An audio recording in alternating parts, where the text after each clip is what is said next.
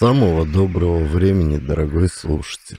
У микрофона Костя Суханов. Прошел месяц со дня выхода первого рассказа в серии «Рассказы об охоте и рыбалке». Я почитал ваши комментарии, понял, что эта серия интересна, и вы хотите ее продолжить. То же время очень многие одновременно, практически не сговариваясь, написали, что в нее обязательно надо включить хотя бы несколько рассказов Григория Анисимовича Федосеева. Вы слушаете меня, я всегда слышу вас.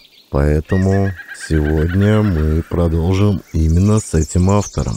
Так как рассказы серии об охоте и рыбалке подразумевают собой небольшие рассказы, то для ее продолжения, по вашим просьбам, я выбрал книгу «Таежные встречи» Григория Анисимовича Федосеева. Ну что ж, не будем откладывать. Не забывайте ставить лайки, делиться и обязательно комментировать, потому что только так мы двигаемся вперед. И вот немного о самом сборнике этих рассказов. Все рассказы, вошедшие в этот сборник, появились из дневниковых записей. Язык их прост и понятен. Автор любит тайгу, умеет не только наблюдать, но и передавать свои впечатления, показывать своеобразную суровую красоту сибирской природы. Его рассказы правдивы и насыщены событиями, которые автору приходилось наблюдать в обстановке походной жизни по малоисследованным местам родного края. Ну что ж, мы начинаем. Григорий Анисимович Федосеев. Таежные встречи. Вместо предисловия. Ранней весной в глубину восточного Саяна через мертвую тайгу двигалась геодезическая экспедиция. Люди прорубали проходы, разбирали завалы и с тяжелыми котомками за плечами тянули по снегу груженные нарты. Упавшие деревья преграждали путь, звенели топоры, и люди упорно, шаг за шагом, шли к намеченной цели. Позднее по просеке пройдут лошади и забросят весь груз экспедиции в дебри тех таинственных гор, зубчатые вершины которых виднелись на далеком горизонте. А пока люди тянули на себе все, от продовольствия до палаток и инструментов. Впереди экспедиции шел человек среднего роста с продолговатым обожженным ветрами лицом. От его внимательных глаз ничто не ускользает, а он неослабно наблюдает за природой, собирает все, что ново, интересно, неожиданно. Он замечает и мельчайших букашек, выбравшихся в полдень из-под снега, чтобы погреться на солнышке, или снова труженика дятла, живущего в тайге, погибшей от лесных вредителей, нежную щеточку зелени, пробившуюся где-нибудь на южном склоне Крутояра, и многое-многое другое. Этот человек, ведущий экспедицию в неисследованную часть Восточного Саяна, инженер-геодезист Григорий Анисимович Федосеев. Люди устали, промокли, оборвались, и как только увидели зеленую площадку, сейчас же свернули туда и занялись устройством лагеря. А Григорий Анисимович, вскинув на плечо штуцер с любимой собакой Черней, поднимается на первую возвышенность, чтобы среди нагромождений горных кряжей, гольцов, цирков и бурных рек наметить дальнейший путь экспедиции. До поздней осени работает экспедиция в живописной и богатой тайге Восточного Саяна, среди недоступных и почти еще не потревоженных гор. Рядом с инженером Федосеевым идут его замечательные спутники. Прокопий Днепровский. Рассказы. Немилен. Неожиданная встреча. Кабарга. Василий Мищенко. Немилен. Казак непокоренный. Трофим Пугачев. Немилен, последняя песня. Кирилл Лебедев, Немилен. Старик Павел Назарович Зудов, Кабарга.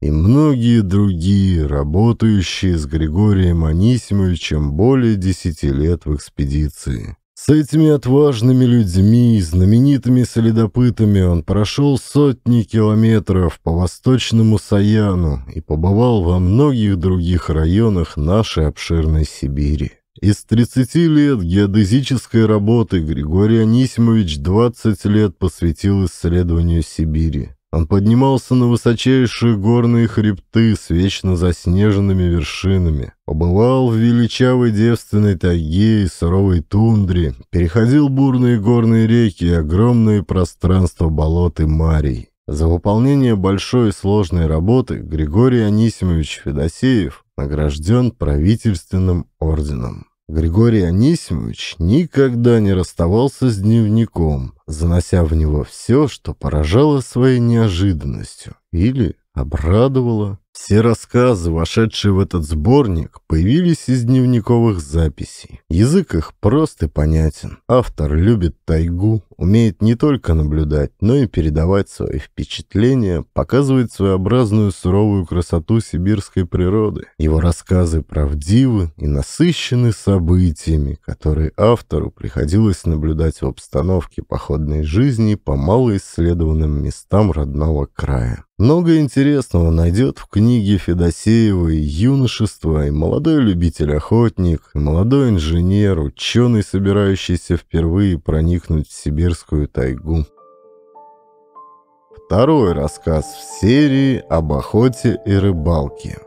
Все рассказы серии можно услышать на YouTube-канале «Актер Костя Суханов». Для этих рассказов создан отдельный плейлист, где можно послушать все по порядку, от первого до последнего. Рассказы постоянно добавляются при поддержке слушателей.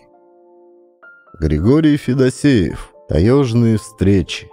Немилен. Более 10 лет назад наша небольшая геодезическая экспедиция направлялась в верховье реки Амгунь. Нашей задачей было разобраться, какое в действительности пространство занимают мари, озера, леса, куда, какие реки впадают и в каком направлении идут хребты, заполнившие территорию севернее Амгуни. Словом, мы должны были положить начало исследованию этого края. Примечание. Мари, качковатые болота. Скучное пространство прорезает река Амгунь, пока ее вода не сольется с Амуром. Глаза поражают контраст. То мари и забуны, то горы, седые великаны, то как море бескрайние хвойные леса. Тогда все прилегающее к Амгуне пространство было еще не исследовано, не тронуто. Дико. Девственная природа еще ожидала человека. Может быть, и не сохранился до наших дней тот скромный памятник на берегу реки Амгунь, который мы поставили на небольшом кургане справа от дороги, ведущей на главный стан. Но, вероятно, пешеходы и теперь останавливаются там, чтобы передохнуть и посмотреть с крутого берега на реку Амгунь. Вряд ли знают они историю трагической гибели человека, похороненного похороненного под этим курганом.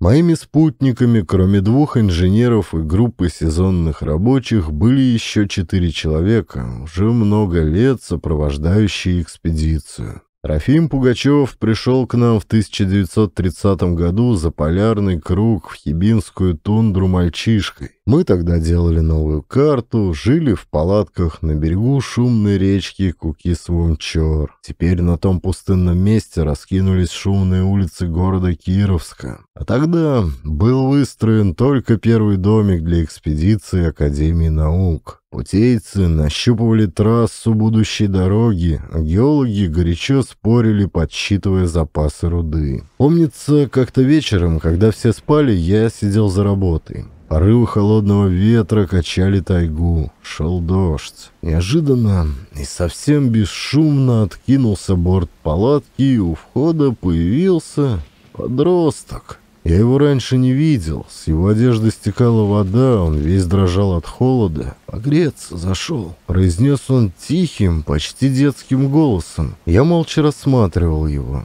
Незнакомец снял котомку, мокрый плащ и, подойдя к раскаленной печи, стал отогреваться. «Откуда?» — наконец не выдержал я. «Энзинский.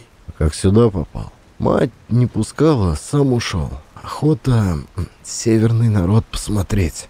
Пока я ходил в соседнюю палатку, чтобы принести ему поесть, он свернулся у печи, да так в мокрой одежде уснул. Это был Трофим Пугачев.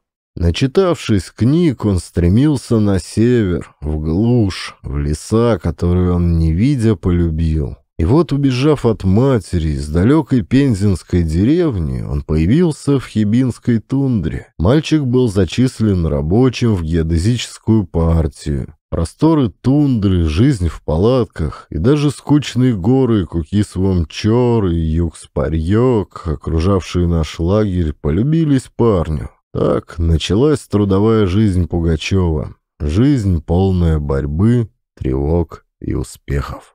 После окончания работы в Хибинах наша партия переехала в Закавказье. Пугачев вернулся домой. В своей памяти юноша увез в деревню свежие впечатления о северном сиянии, о тундре, о работе. Каково было наше удивление, когда в апреле следующего года он разыскал наши палатки в далекой Муганской степи, Азербайджан тундре Пугачев видел, как только что родившийся теленок оленя мог следовать за матерью по глубокому снегу и даже спать в снегу. Это его удивило. Тогда же он поделился своими впечатлениями со старым Сами. «Тебя удивляет, почему теленок не замерзает?» — спросил житель тундры. «Говорят, есть на юге такая страна, где на солнце в песке яйца пекутся. Вот как люди могут там жить? В самом деле, как живут люди в жарких странах? Это так заинтересовало любознательного мальчика, что он приехал к нам на юг, чтобы увидеть страну жаркого солнца.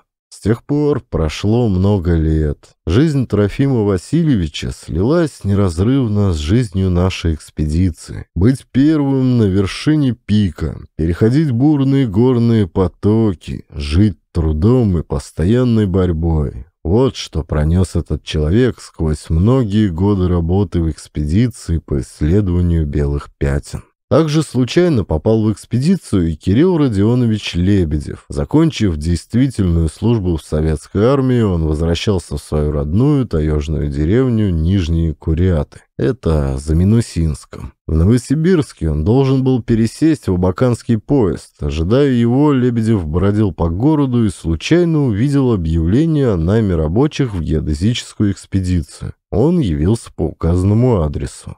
Рабочих набирал Пугачев, и тогда между ними произошел такой разговор. «А ты тайгу знаешь? Ведь мы не прохлаждаться, не на курорт едем, а работать. Там придется пудовые поняшки на гору таскать», — говорил он. «Мы привычные», — невозмутимо отвечал Лебедев. Пугачев посмотрел пытливо на человека в серой шинели и сердито продолжал. «И реки бродить, и голодать, и спать на снегу. «Привычные? Что ты мне привычные, привычные, если придется по реке на шестах подниматься?» — настаивал Пугачев. У Лебедева где-то в складках губ промелькнула чуть заметная улыбка, и он тем же спокойным тоном ответил. «У нас бабушка на всю округу первой рыбачкой была. Отец тоже рыбак, с 15 лет и меня приучили лодкой управлять». Пугачев сдался. И Лебедев, забыв, зачем пришел, стал рассказывать ему о тайге своего края, о рыбалке. Они условились, что Лебедев съездит домой к старикам и к 20 апреля будет в Иркутске. С того года Пугачев и Лебедев сдружились. Они выросли в разных деревнях, первый в Пензенской, второй в Сибирской. Проснутся ли они ночью, разбуженные воем пурги, присядут ли отдохнуть на минуту при подъеме на пик. У них всегда были темы для разговора, и тот и другой одинаково любили свои родные места, но рассказывали по-разному. Пугачев с азартом, а Лебедев спокойно.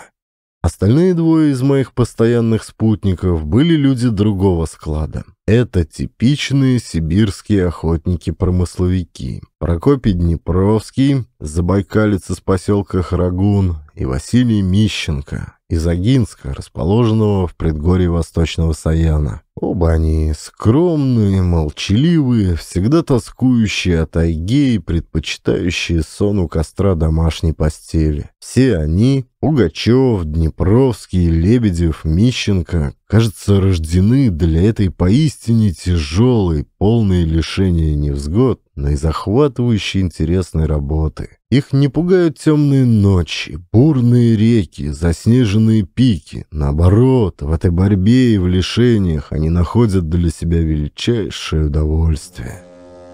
По Амгуне мы ехали на пароходе «Комиссар». Это было поздней весной, в июне. Уже отлетели к северу неугомонные стаи уток, гусей, и на таках смолкли песни глухарей. Обмытая вешними дождями тайга принарядилась, похорошела. Зашумели ключи, мутной водой вспухла река. Все давно пробудилось, и в этом суетливом мире не осталось и следа от суровой зимы. Пароход, покряхтывая от старости, на четвертый день вышел, наконец, из последнего кривуна, и мы увидели в долине небольшой приисковый поселок, расположившийся на левом берегу Амгуни. Пестрая толпа, покрывавшая берег, все увеличивалась и увеличивалась, пока комиссар не бросил якорь. Мы выгрузились и разместились в просторном зимовье, стоявшем на берегу Амгуни, и, не теряя времени, начали готовиться к выходу в первый маршрут. Оборудовали лодки, упаковали продовольствие, инструменты, делали вьюки для оленей. Мне с моими четырьмя спутниками предстояло посетить Диерские гольцы, каменистые отроги Луча, Мунали,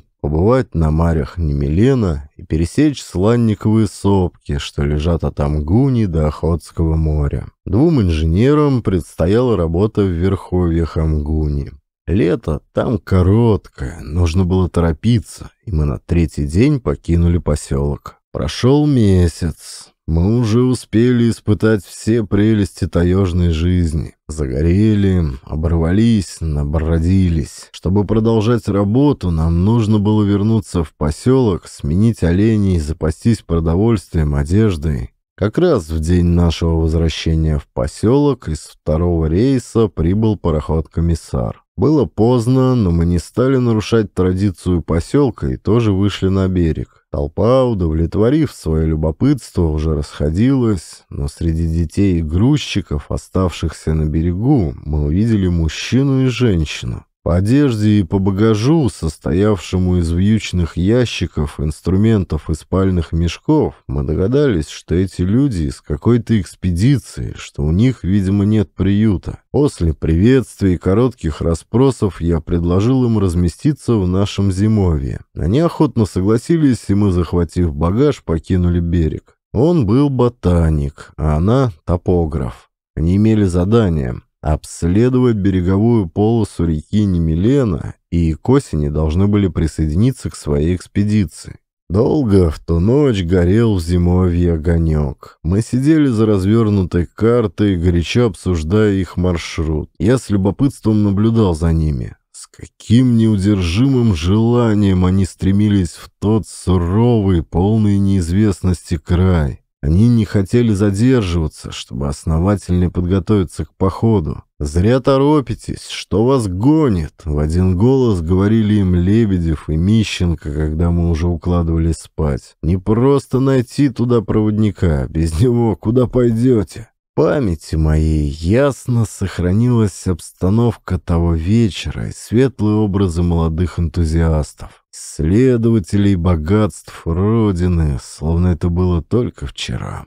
Николай Петрович, так звали ботаника, был выше среднего роста и крепкого сложения. Слегка вьющиеся волосы небрежно спадали на высокий лоб. Ему было не более 27 лет. Его спутницу все мы назвали просто Верой. Солнце и ветер сделали ее лицо бронзовым. Когда она смеялась, а смеялась она заразительно и громко, мы любовались белизной ее зубов и игрой маленьких глаз. Она была очень подвижна, заботлива. Утром она стала хозяйничать в зимовье. И сразу в помещении стало уютно, исчезли признаки холостяцкой жизни. Закончив уборку, она принялась упаковывать инструменты, приборы, проверять по списку, что нужно было отложить на первый случай. Затем стала перебирать в ящиках, доставая банки, рыболовные снасти, соду для выпечки хлеба, иголки и всякую мелочь, необходимую в тайге. Но что бы Вера ни делала, она не теряла своей обаятельности. Все мы невольно подтянули тянулись, и каждый старался чем-нибудь угодить ей. Как приятно зазвучал ее голос в кругу закоренелых таежников. Все мы стали необыкновенно ловкими и очень предупредительными.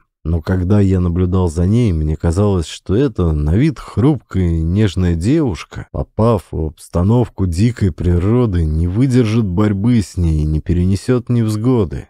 Готовились они поспешно. Нужно было достать хорошую лодку, собрать от местных ивенков сведения, запастись продовольствием, учесть всякие неожиданности. Да мало ли что нужно знать, иметь с собой и помнить человеку, отправляющемуся в такое далекое путешествие. Мы чем могли поделились с ними, и на третий день они были готовы отправиться в путь поселке им не удалось так быстро найти проводника, гребцов, и смелые путешественники решили плыть вдвоем, рассчитывая нанять их по пути в Тугурское стойбище. Помню хорошо день их отъезда. Ранним утром, когда еще на камнях, на траве и листьях берез лежала влага, остатки ночного тумана, мы стояли на берегу против устья Немелена и, прощаясь, крепко жали друг другу руки. Они отплывали в долбленные лодки оморочки, и как только стали скрываться за обрывистым берегом реки, послышался мягкий бас Николая Петровича. «До свидания! До свидания!»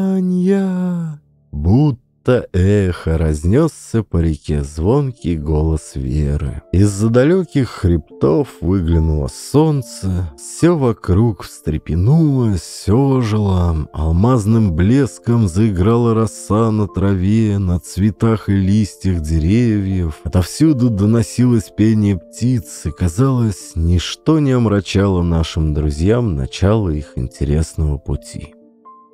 Прошло пять дней. После проливного дождя на долину легла темная ночь. И только изредка черное небо освещалось далекой грозой. Мои спутники все уже спали, я сидел за работой. А вдруг кто-то тихо постучал, и дверь отворилась. В полосе света, словно привидение, показалась женщина. Она с трудом перешагнула порог и прислонилась к стене зимовья. Я вскочил и от неожиданности еще несколько секунд стоял, не зная, что делать. Женщина беспомощно продолжала опираться руками о стену. Еще секунда, и не удержавшись, она медленно опустилась на пол и зарыдала. Все вдруг проснулись, вскочили. Я побежал к ней и узнал Веру. Она продолжала рыдать. Казалось, много дней девушка терпеливо несла свое горе через испытания и муки, несла сюда, в зимовье, чтобы излить его нам. Днепровские, Мищенко и Лебедев приподняли и перенесли ее с пола на походную кровать. Не успел Пугачев снять с нее промокший плащ, как я увидел на сером платье ужасный рисунок. Это были следы почерневшей крови. «Он в лодке», «Может быть, еще жив, спасите его!» Чуть слышно, сквозь рыдание, проговорила Вера. Какое-то страшное, непередаваемое чувство вдруг охватило всех нас. Мои товарищи немедля бросились из зимовья, и я остался с нею, и, путаясь в догадках, еще долго не мог прийти в себя от всего случившегося. Тусклый свет керосиновой лампы освещал внутренность зимовья. Где-то далеко все еще продолжали бушевать раскаты грома, сверкала молния, и разгулявшийся на просторе ветер со свистом носился по равнине. Я сидел у изголовья Веры. Она не плакала. Все бледнее становилось ее лицо. Скоро глубокий сон овладел ею. Прошло полтора томительных часа, когда, наконец, послышались тяжелые шаги, отворилась дверь, и товарищи внесли в зимовье безжизненное тело ботаника. Они положили его на пол, и мы долго стояли, охваченные чувством глубокой скорби, еще не зная причин, так безжалостно оборвавших молодую, полную сил и стремлений жизнь. Ворвавшийся в зимовье шум, а затем и наш говор разбудили Веру. Она открыла глаза и, устремив взор в пространство, долго лежала без движения, только изредка у нее дрожали обветренные губы. Вскоре девушка снова впала в глубокий сон. Мы развели костер, вскипятили воду, и пока обмывали погибшего, наступило утро. Оно было серое, неприветливое, как и окружавшая нас действительность. Умолкла и гроза, только холодные волны реки, предвещая ветреный день, шумно плескали о берег. Вера просыпалась изредка и ненадолго. На наши вопросы и на уговоры съесть что-нибудь она отрицательно качала головой. Мы были серьезно обеспокоены состоянием ее здоровья. Тот же день Николая Петровича похоронили под тем курганом, что стоит у самого берега Амгуни справа от дороги, идущей на главный стан. Население поселка помогло нам тогда же соорудить небольшой деревянный обелиск и обнести его оградкой. Медленно спускались в долину сумерки, затихала суета в поселке. Все готовилось к ночи, словно ничего и не произошло. Вера почти не приходила в сознание. Мы сидели у ее постели, наконец она проснулась, и после нескольких глотков горячего чая легкий румянец освежил ее лицо. Рассказывала она тихо, почти шепотом, развертывая перед нами картину трагического случая. Мы, не торопясь, плыли по Немилену, останавливались у каждой поляны, заходили в тайгу, осматривали Мари. Говорила она, стараясь сдерживать волнение. Николай Петрович собирал цветы, травы, стрелял птиц, ловил грызунов, а я вела маршрутную съемку и в свободное время помогала ему нумеровать растения, снимать шкурки и упаковывать коллекцию. Дни стояли солнечные, Николай Петрович с увлечением отдавался работе. То он подолгу рассматривал кочки, выбирая корешки растений, то как пионер стремительно бросался за какой-нибудь бабочкой. Нужно было видеть, сколько удовлетворения приносили ему те минуты, когда он держал в своих руках экземпляр, чем-нибудь удививший его. Она на минуту оборвала свой рассказ и, выпив несколько глотков чая, снова продолжала. Все это случилось на третий день, когда мы были уже далеко по Немелену. Места там суровые, скучные, почти сплошь заболоченная низина. Уже вечером мы остановились на небольшой косе, поставили палатку и пошли собирать растения. И случилось же так, что в это самое время недалеко от берега бродил медведь. Мы его увидели, отойдя километра полтора от косы. Я и до сих пор понять не могу, почему у Николая Петровича вдруг появилось желание убить его. Оставив меня у перешейка, он с ружьем бросился по перелеску догонять зверя. Зря, конечно, перебил ее Днепровский. Ведь в это время медведь худой, голый, словом, бесполезный. «Не послушался, я говорила ему», — продолжала Вера. Я подождала немного, собрала цветы и решила идти к палатке. А тут, как на грех, наступила темнота, и небо затянулось тучами. Вдруг послышался выстрел, а затем и крик. Мне показалось, что Николай Петрович зовет меня, и я, не раздумывая, поспешила к нему. Но в перелеске его не оказалось, и на мой окрик никто не ответил. Я стала звать его громче, и какая-то неясная тревога вдруг овладела мной. Тишина показалась зловещей, а окружающая природа чужой. Меня охватило чувство одиночества. Мне стало как-то неловко в лесу, но я продолжала ходить, все звала его, прислушивалась к каждому шороху, и вдруг откуда-то донесся страшный звук, будто где-то прокричала сова. Далеко. Звук повторился несколько раз, и совсем неожиданно я уловила в нем человеческий стон. Но разве могла я подумать тогда, что так ужасно закончится эта охота? Вера умолкла и задумалась, словно что-то вспоминая. «Я нашла его на краю перелеска», — продолжала она свой рассказ. Он лежал ничком под толстой колодой, медведя возле него не было. Самые невероятные мысли закружились в голове. Мне с трудом удалось повернуть его на спину, и я увидела на животе у него ужасную рану. «Не бросай меня», — произнес он умоляющим голосом. Ошеломленная этой страшной картиной, я в первую минуту не знала, что мне делать, куда идти, кого позвать на помощь, ведь я была одна среди дикой безлюдной природы. Я сорвала с себя платье и перевязала рану, а вокруг творилось что-то непередаваемое. Уже шел дождь, от сильных разрядов гудело в лесу, вздрагивала под ногами земля. Кругом была темная ночь. Казалось, природа восстала против меня, и чем только была она способна напугать человека, все это сразу обрушилось на меня. Но что я могла сделать? Я знала, что нужно спасти его, нести в палатку. Не помню, как я тащила его, как перелезала с ним через колодник. Я спотыкалась, падала в ямы, но сейчас же вскакивала и, не сдаваясь, продолжала тащить его. С каждым шагом он становился все тяжелее, мои силы слабели. Мне казалось, что вот-вот я увижу не Милен, палатку, а там может быть и его спасение. Но река еще долго не появлялась. Я все шла, вернее ползла с непосильным грузом, уже не веря, что когда-нибудь кончится этот ужасный путь. И Вера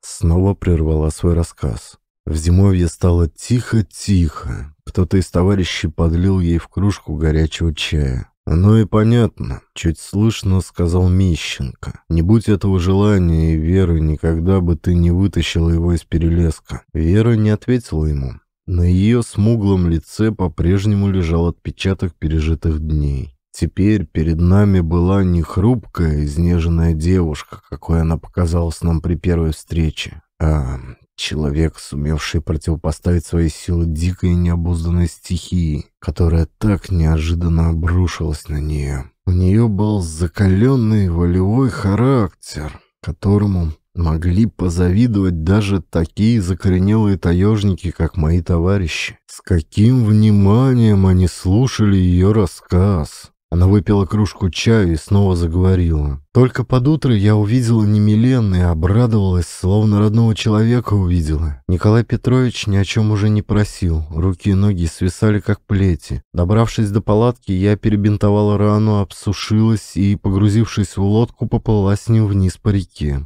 День оставался серым, солнца не было. Николай Петрович долго находился в бессознательном состоянии, а я все гребла и гребла. Но силы мои иссякали, руки уже не держали весел, болели плечи. Позже Николай Петрович пришел в себя и попросил пить. Я подсела к нему и, положив его голову к себе на колени, дала ему несколько глотков воды. Его лицо было совсем бледное, восковое. На лбу лежали мелкие крупинки пота, но глаза были ясные я верила, что он будет жить. Так мы плыли долго, никем не управляемую лодку несло течение. Непосильной тяжестью навалился на меня сон, и как бы ни боролась я с ним, как ни крепилась, все же уснула. Когда проснулась, на лице Николая Петровича уже не было пота, но глаза по-прежнему смотрели на меня. Только они были странные, какие-то неживые, словно стеклянные. Я принялась будить его, звать, но он уже был мертв. Мне Стало страшно.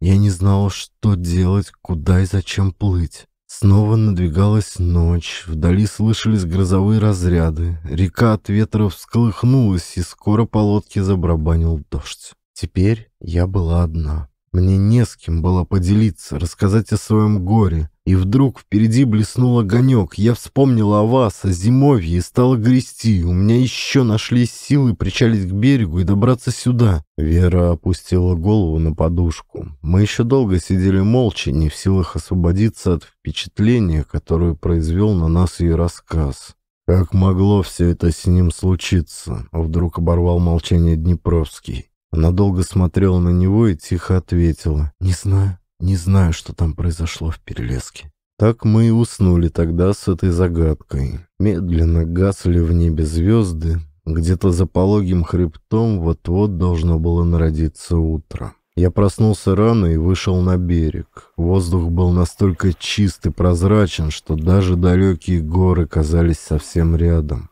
Отовсюду доносились птичьи песни, все жило и радовалось наступающему дню. Пока я умывался, взошло солнце.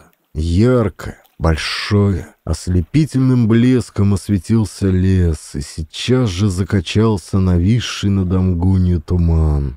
В этот день мы должны были выступить во второй маршрут, чтобы исследовать долину реки Тугура и проникнуть к берегам Охотского моря. Путь наш шел частично по Немелену. Вера встала последней. Ее лицо оставалось грустным. Впалые глаза смотрели устало, а губы, казалось, никогда больше не улыбнутся. Когда мы завтракали, яркая полоса солнечного света уже заглянула внутрь зимовья, и в помещении стало уютнее. За чаем мы все стали уговаривать Веру отказаться от дальнейшей работы и вернуться в Хабаровск. «Ни за что», — отвечала она серьезно. «Если вы не возьмете меня с собой до первого винкийского стойбища, я доберусь туда сама. Вы же любите тайгу, свою работу. Почему хотите лишить меня этого?» «Но почему? Скажите!» Вдруг обратился она к моим товарищам. «Знаю», — продолжала она, — «вы смотрите на меня как на девочку, но ведь я тоже люблю природу, и у меня есть задание, которое я должна выполнить. Но что из этого, что я еще не приспособлена, что не имею опыта? Время поможет мне. Я должна закончить свою работу, а о Хабаровске сейчас и слышать не хочу».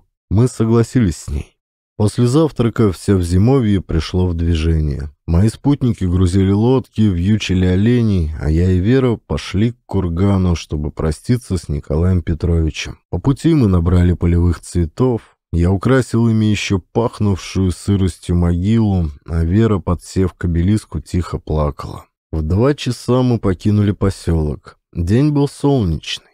После ночного дождя Мгунь взволновалась, по ней плыли корчи, мусор. Река вышла из берегов и, затопляя море, разлилась по равнине. Мы плыли на лодках вверх по Немелену, плыли медленно, груженные лодки с трудом преодолевали течение. На третий день Вера узнала косу, где они останавливались в последний раз. Мы хотели избавиться от назойливого вопроса, мучившего нас. Мы должны были разгадать, что же в действительности произошло с Николаем Петровичем в Перелеске.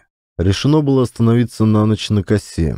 Мищенко, Днепровский, я и Вера сразу же пошли искать ту колоду, под которой она подобрала Николая Петровича. Нам не пришлось блуждать по перелеску. От берега шел довольно хороший заметный след. Помята трава, вырван пластами мох, перевернут валежник. След был почти свежий, вероятно, еще много времени оставался хорошо заметным. Скоро мы подошли к колоде.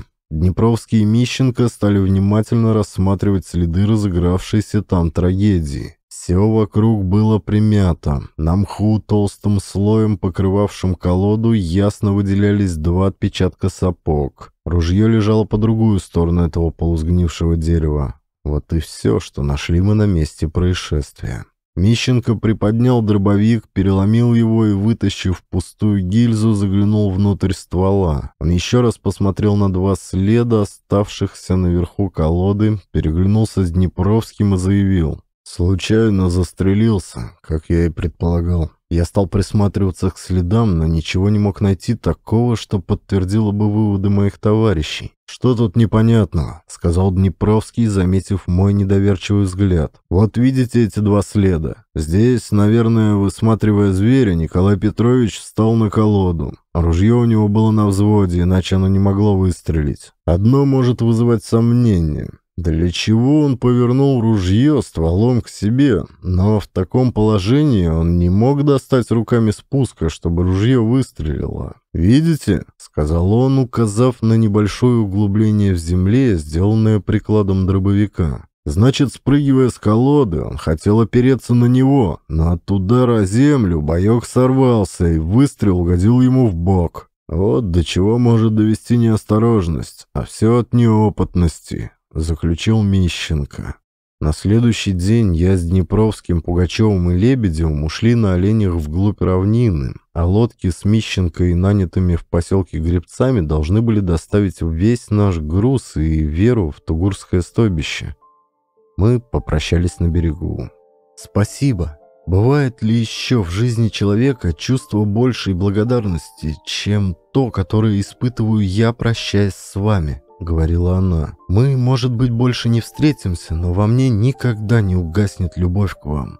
Таежники, до свидания, милые товарищи». Они уплыли.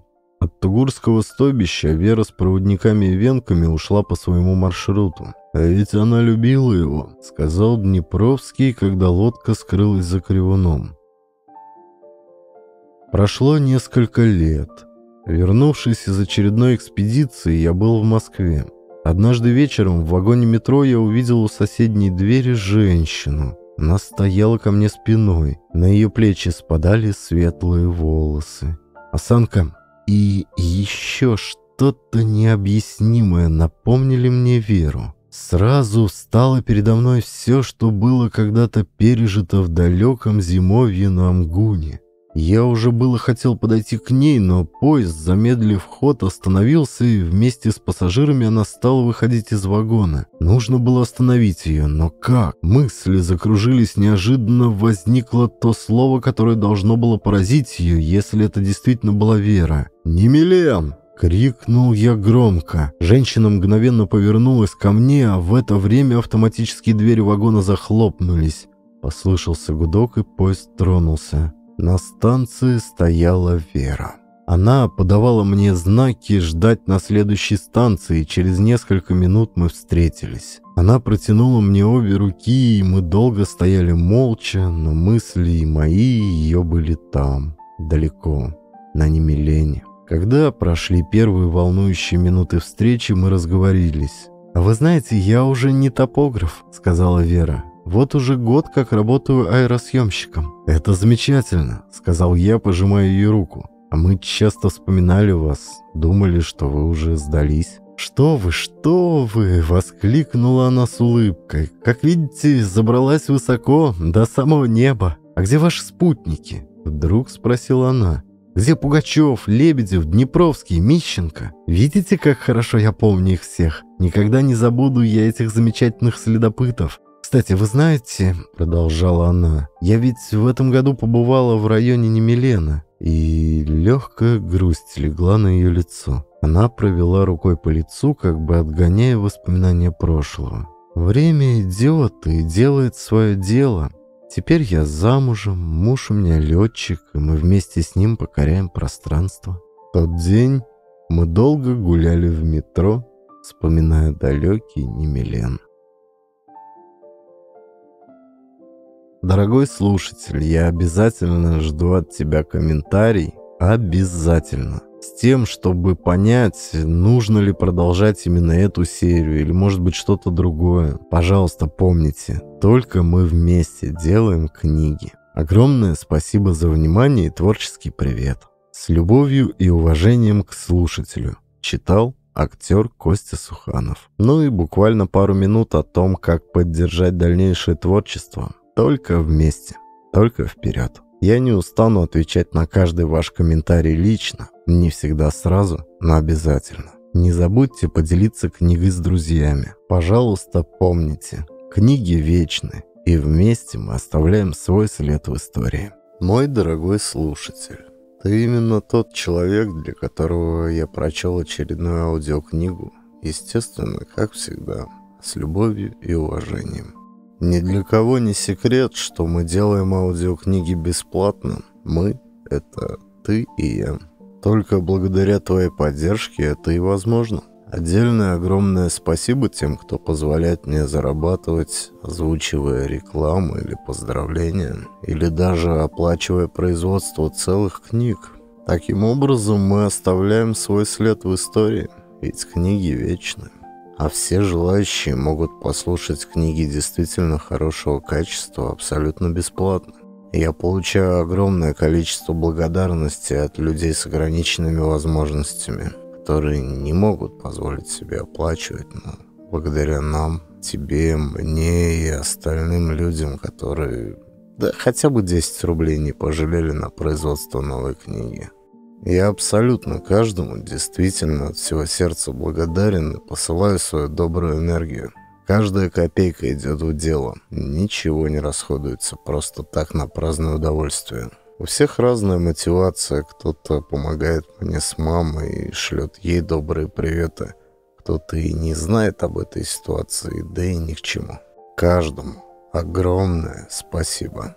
Поддержать выход новых аудиокниг, стихов очень просто – Любая посильная помощь, перевод по номеру телефона плюс 7 901 715 27 88 плюс 7 901 715 27 88 на Сбербанк, Тинькофф, Яндекс.Банк, ЮMoney.